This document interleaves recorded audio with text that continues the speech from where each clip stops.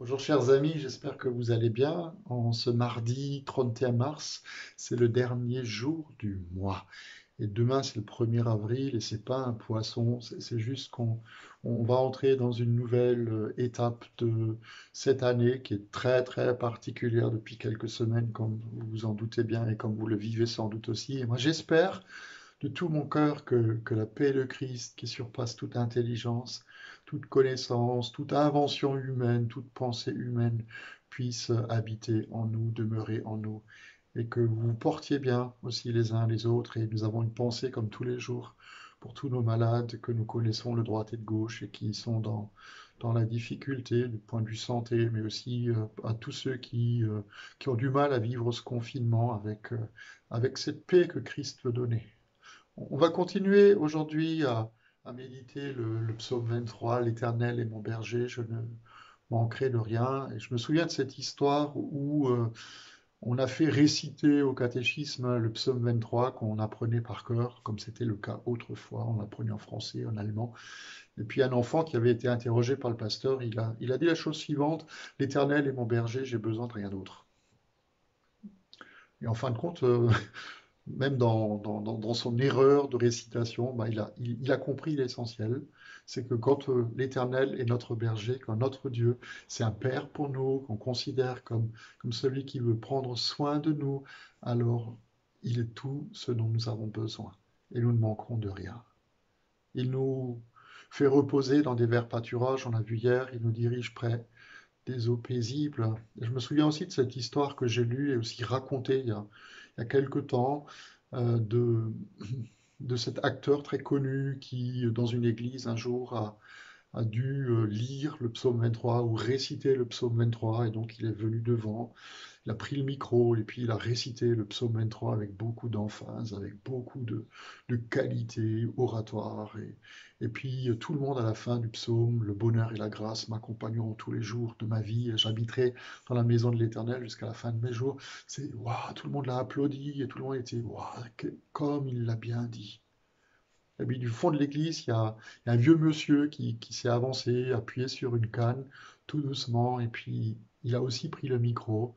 Il a dit, moi aussi, j'aimerais euh, lire le psaume 23. Et donc il a lu avec une petite voix chevrotante ce psaume-là, et, et à la fin, on entendait les mouches voler.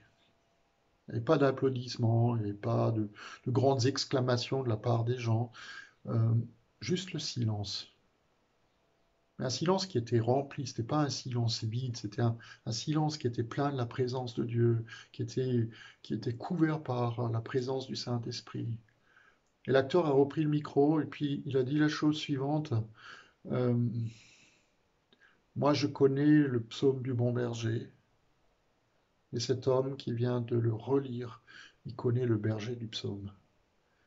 ma prière pour nous aujourd'hui, en ce mardi, dernier jour du mois de mars, c'est que nous connaissions tous et toutes le berger du psaume. Pas juste connaître le psaume et même le connaître par cœur, mais connaître le berger dont parle David dans ce psaume. Et il continue, euh, David, en, disant, il restaure mon âme. La restauration de l'âme, c'est quand elle est abattue qu'elle en a besoin. C'est quand mon âme est fatiguée, quand mon âme est chargée, j'ai besoin de savoir que, que mon Dieu, il veut la restaurer. Et la restaurer dans, les deux sens du verbe, à savoir réparer ce qui a besoin de l'être, remettre d'équerre ce qui a besoin de l'être, remettre debout ce qui a besoin de l'être. Mais, mais c'est aussi restaurer dans le sens où mon âme est là. Elle a faim et soif de quelque chose de profond et de vrai. Et l'Éternel, le bon berger, il veut me donner ce dont j'ai besoin. Il restaure mon âme. Ça vous arrive d'être abattu?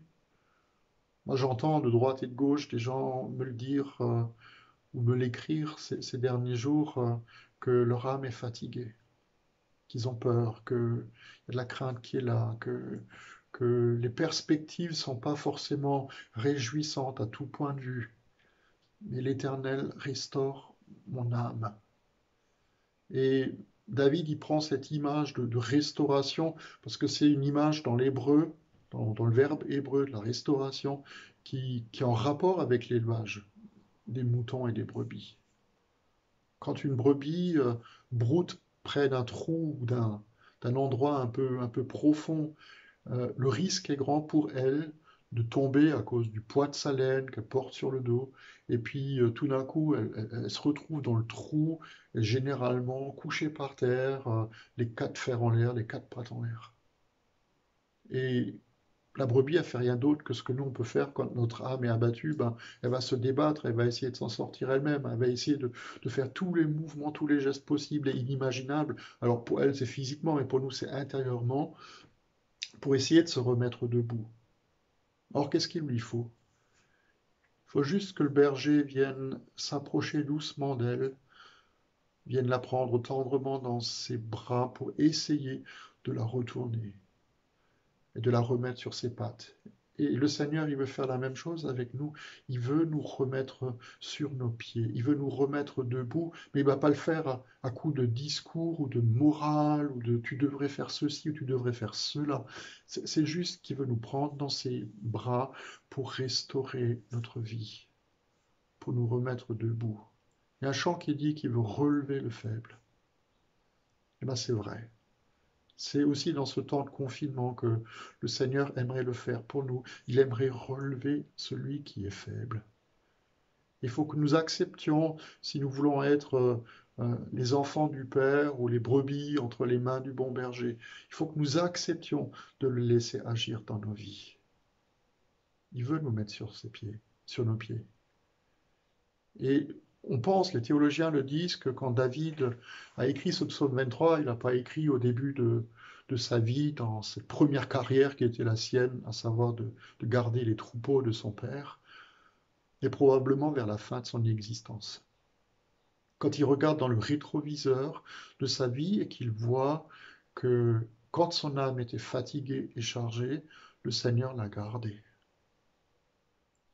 Il se souvient de toutes les fois où il s'est retrouvé sur le dos. Il se souvient de toutes les fois où il était fatigué et chargé, trouvait pas de repos, et le Seigneur est venu et il a restauré son âme. Et chaque fois que le Seigneur est venu, il l'a fait.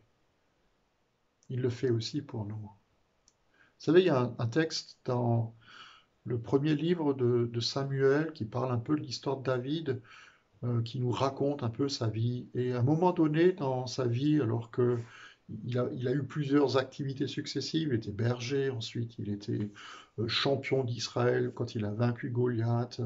Il, euh, il, a dû fuir Saül qui cherchait à le tuer. Il a dû s'affilier avec, euh, avec une bande de mercenaires et se mettre au service des Philistins. Et puis à un moment donné, alors qu'il était au service des Philistins et, qu'il faisait une espèce de guérilla avec ses 600 hommes, il occupait une ville qui s'appelait Tsiklag. Et, cette ville, elle a été, euh, pendant qu'il était parti avec ses, avec ses mercenaires, cette ville, elle a été euh, pillée et ils ont enlevé ses femmes et ses enfants.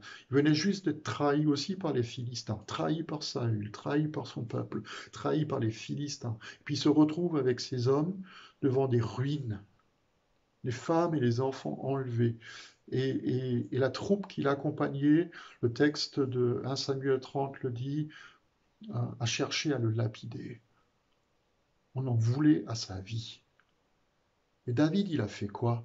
Il avait des raisons d'être abattu, il avait des raisons d'être euh, vraiment dans, le deuil et de crier. David, il a fait quoi? 1 Samuel 30 dit que à ce moment-là, David s'est fortifié dans le Seigneur. À nous aussi, nous pouvons nous fortifier dans le Seigneur. Si notre âme est abattue et fatiguée, il vient la restaurer.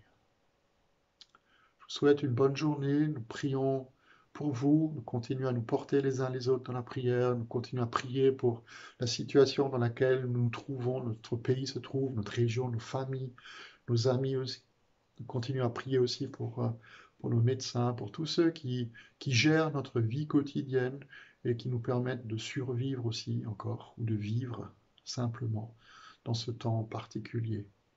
Et, que le Seigneur nous garde chacun dans sa paix, qui nous donne sa force tous les jours. Je voulais vous dire deux choses encore. La première, c'est que demain matin, il y a de nouveaux rendez-vous euh, d'intercession et de prière. sur, sur Zoom. Donc les renseignements, vous les trouvez sur la page Facebook Église protestante de Diebringen, avec le numéro auquel enfin, avec lequel vous pouvez vous inscrire pour participer à cette séance vidéo communautaire, mais à distance, et on intercède et on prie les uns pour les autres. Et puis la deuxième chose que je voulais annoncer, c'est que pour les enfants, à partir de 16 heures, au moment du goûter, il y a une page et une chaîne YouTube qui s'appelle Les Aventures d'Évangéline. Et tous les jours, on, raconte en quelques minutes l'histoire de cette petite fille qui va rencontrer le grand Dieu. Donc, voilà. Voilà pour les infos. Passez une bonne fin de journée, soyez bénis, et puis à demain.